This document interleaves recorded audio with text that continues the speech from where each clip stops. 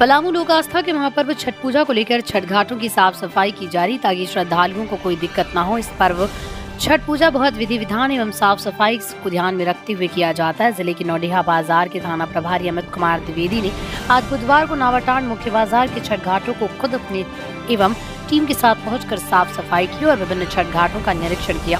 तथा नौडिया बाज़ार प्रखंड वासियों को लोक आस्था के महापर्व छठ पूजा को पर्व शुभकामनाएँ दी।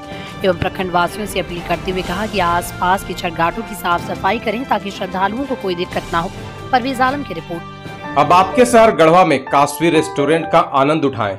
उत्तम और स्वादिष्ट व्यंजनों का एकमात्र संग्रह, जहाँ आपको मिलेगी हाई क्वालिटी व्यंजन और भी किफायती मूल्य पर। गढ़वा शहर के बीच रूप टॉप और एसी हॉल में इंडियन चाइनीज़ और तंदूर का आनंद उठाएँ। बर्थडे पार्टी हो या सालगिरह की पार्टी हम हैं तैयार आपकी खुशियाँ मनाने को। हमारा पता है पांचवा तल्ला Hotel Royal Padmavati Chiniya road, Garhwa. Table booking के लिए अभी संपर्क करें।